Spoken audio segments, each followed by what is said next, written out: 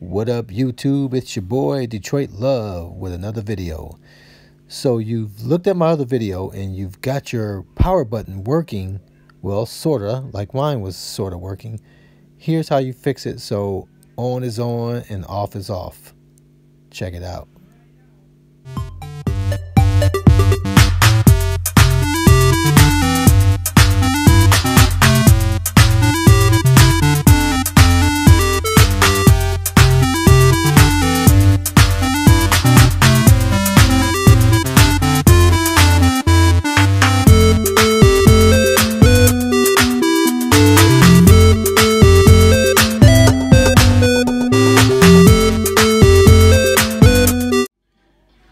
Real quick story. Um, yesterday, I was uh, relaxing, watching TV, going between my first device, TV, second device, phone, and I had the both of these machines on, and they were just, uh, you know, the screensaver pops on, they go through these random games, and the sound came on, and it's like, wow, I was like 10 years old again. I'm like, what?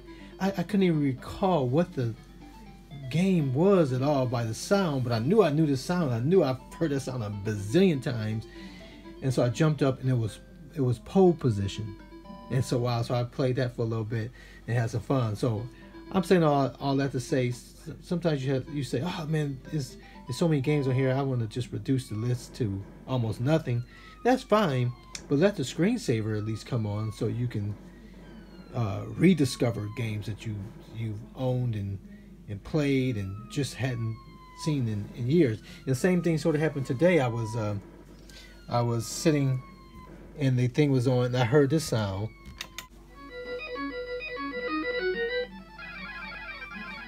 Now I don't know if you've ever played this game or not, but I I played this game a lot and I had no idea now this is one of those games that your quarter wasn't intended for when we were little, but somebody was hogging up Galaga or Joust or somewhere else, and, and and you had to take off, so you had to play what was available.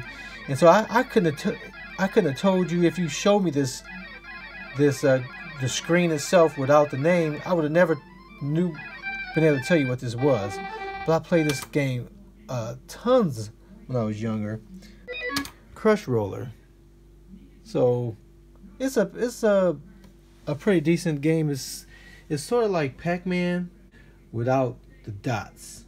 So your goal is to paint the floor, but these little silly um, cat and mice and all those things will will come and and mar up your paint. So if they come so you have these two little things, wherever these things are, and they're pretty smart.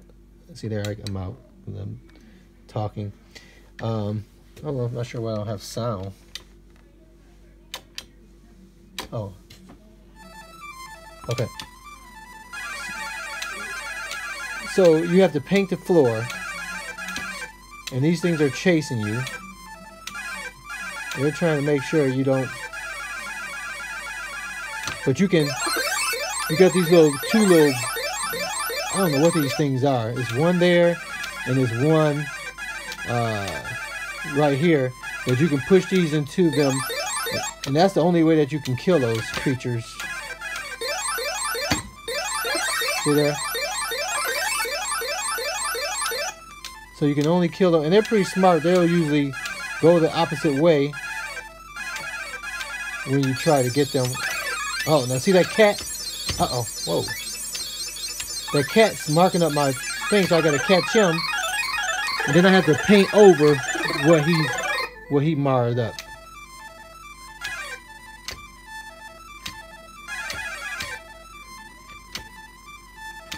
So the objective is to paint the floor. And I gotta get this thing painted before this mouse or... Ooh.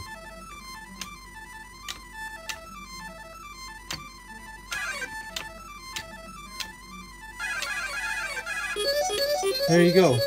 So I complete that board. But that's not what you're here for. Just a little bonus.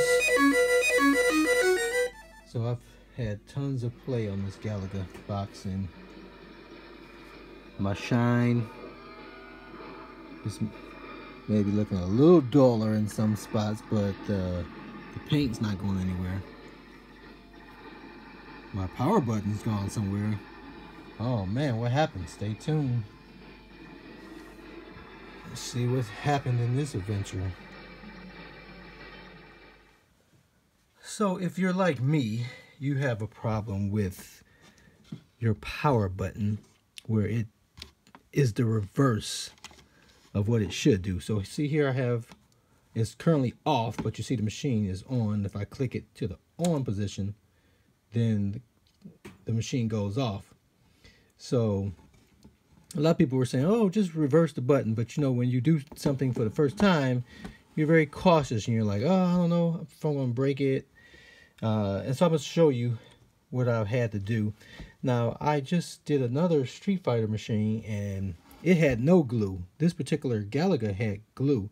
So all you want to do is when you take the uh, three screws out, here you take the three screws out, and then like you can see here is is mine is unstuck now, but it was stuck with glue. So what you want to do is you just take your, and again, mine is already done, so I'm showing you after the fact. You just want to take your screwdriver. So once you take the screws out, hold this here.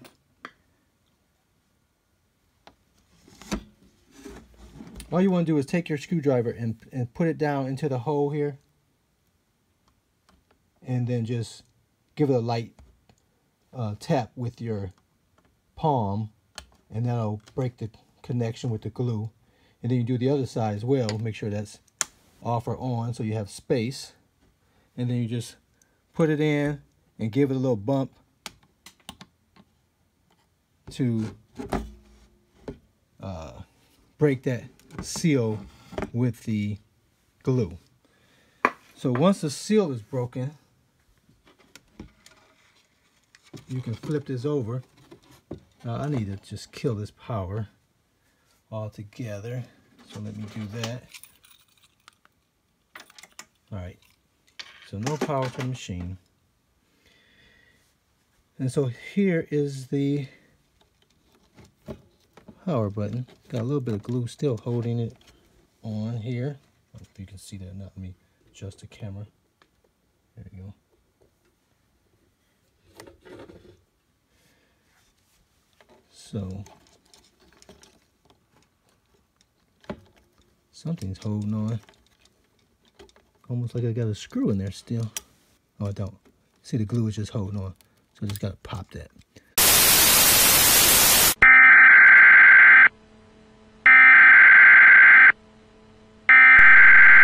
We interrupt our program to bring you this important message. Okay, so, you know, you always have to be careful what you ask for because just yesterday I was saying, you know, I've never soldered anything in my life. I've been in technology and computers uh, I may have done it back in college at the beginning, early days. I can't remember. There's nothing that stuck with me anyway. But anyway, I said I need I need to find a project to solder, so I'll have to solder. And now I have one because my Galaga power button has come off. So this one. So now I'm on my street fighter cabinet. So now I can show you the actual whole way. So I'm going to take these screws out. Hello. All right, let's try that again. So we're going to attempt to take these screws out.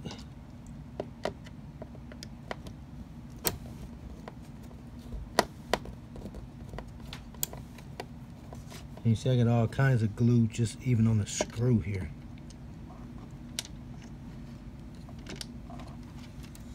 Look at that screw. All kind of glue on it. Uh, get these other two out.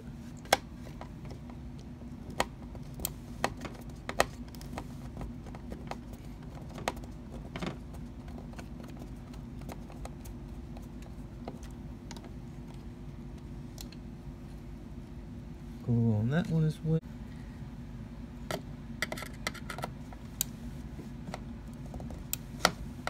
Righty tighty, lefty loosey.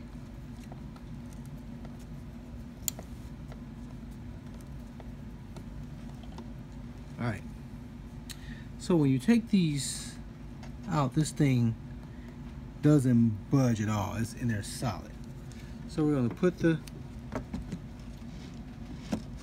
control panel back down and just put your screwdriver in there. You can see that. I'm just going to punch it. Get a light punch.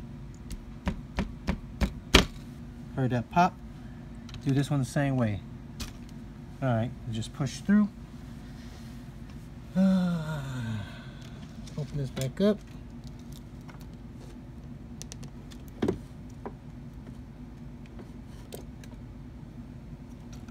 Okay, still attached by some glue. There we go. Alright, so the the three color, the three wires, that's volume. And the two color is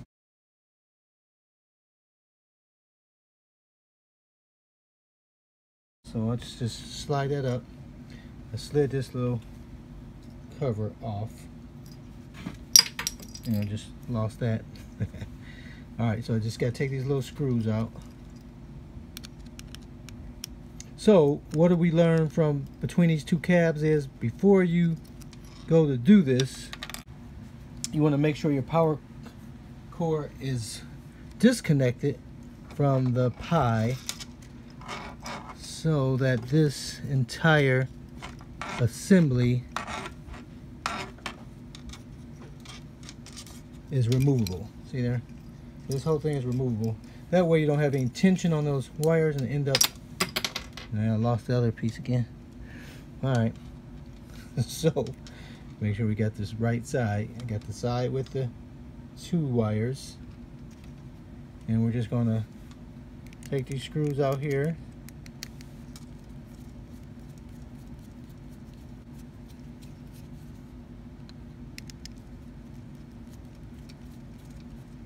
It isn't always better to have someone else do something before you have to try. You can learn from our mistakes. Now, just flip this power cable around. Let me make sure I don't lose this little tiny screw. Been dropping everything else. Just pick it up and reverse it. Alright. This is something you won't have to take off again, but just be careful. Apply pressure so that you don't strip the screw.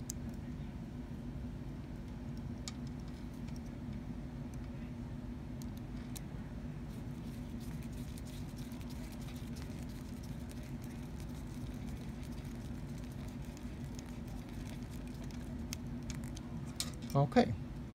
Alright, so I found my covers and I just need to slide those back down.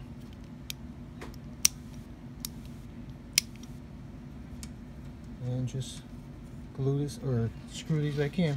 So I just make sure I got these in the right order. Power is on the left. So the three wires will go in the right side.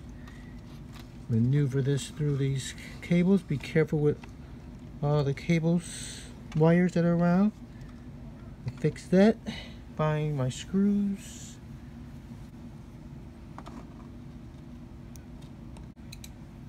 Obviously it's better to do this when you have everything else out. So this is a little tricky, especially with the camera in my way as well. Make sure there's no wires being pinched by this. And this screw looks awfully big, but that's that's it.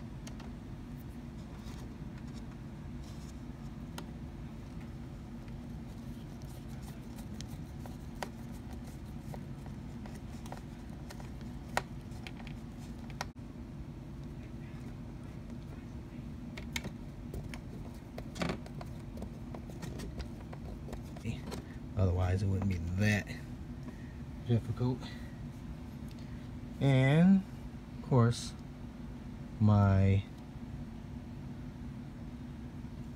see this cable doesn't fit down here, so I just need to plug these things back in. So there's my power cord. I Need to feed that, so it's available from the back. My USB, plug this back in.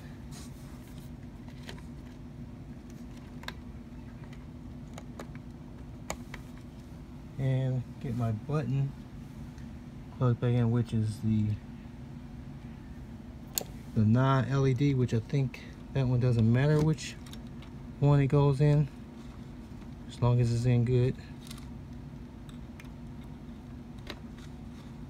And let's test this. Hey Google game on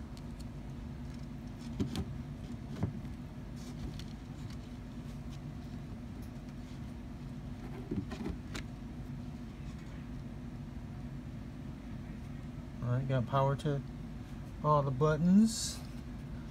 The switch is on the off position, so it should go back off. If the script is right. Oh, I don't have it plugged back in. So let me just switch that. Let me go plug that back in. So you can see it's those pins, if you count from the top left, one, two, three, four, five, six. So I'm actually on seven and eight. So I need to unplug this and put it up one there.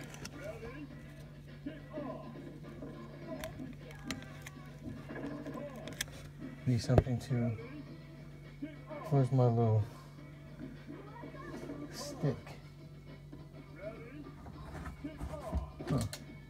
Need something to push that in. That should do.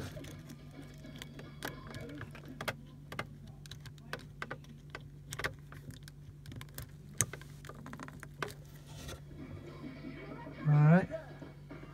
So that should be the right one this time.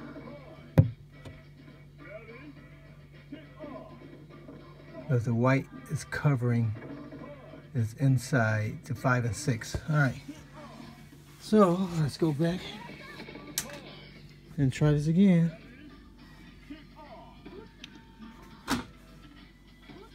The switch, I can focus, is on on. So switch to off. There you go. Now it's off.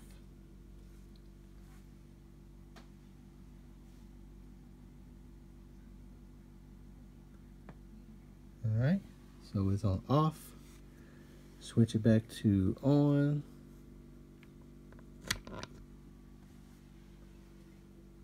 There you go.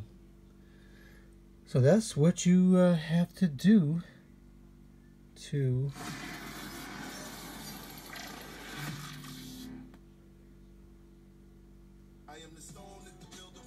to get your power button to function properly. So if you don't want to uh, have to learn a new soldering technique, then you want to um, make sure you disconnect. So you saw where I plugged that power cord into the Pi. You want to make sure that's unplugged before you start fiddling with this so that you don't have any, uh, don't have it pulling on anything. Um, and so make sure that you do that before you start working with this so that you don't break that line. So now I'm going to have to learn how to do that and maybe I'll have a video for that because that's something totally new for me and we'll see if I'm successful. All right, well, thanks for watching. Uh, make sure you subs uh, subscribe. Uh, we're almost to that 1,000 mark. I keep saying that, but we keep getting closer. I appreciate you guys. Uh, and uh, until the next video, I'll see you on the web. And one last thing before I leave. Don't sleep on this game here. Asura Blade and Asura Buster. is a Street Fighter type game that is uh, really nice. A really nice. Oh, I gotta put my logo back. A really nice uh, game that's similar to Street Fighter, so it'll go well with your Street Fighter cab. Um,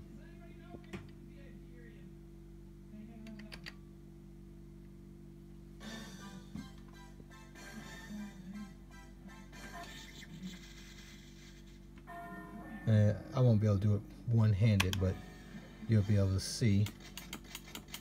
Got these characters that you can be. So very similar to Street Fighter where you go from country to country. This little girl right here, Alice, is pretty wild.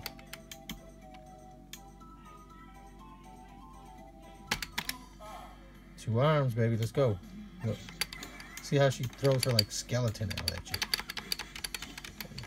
It's pretty crazy.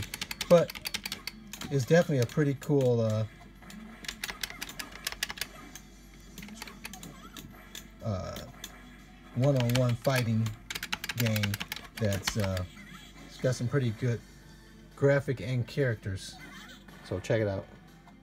Guys, smash that like button and make sure you make some comments down there. I want to know I'm doing the right thing for you guys out here. Thanks.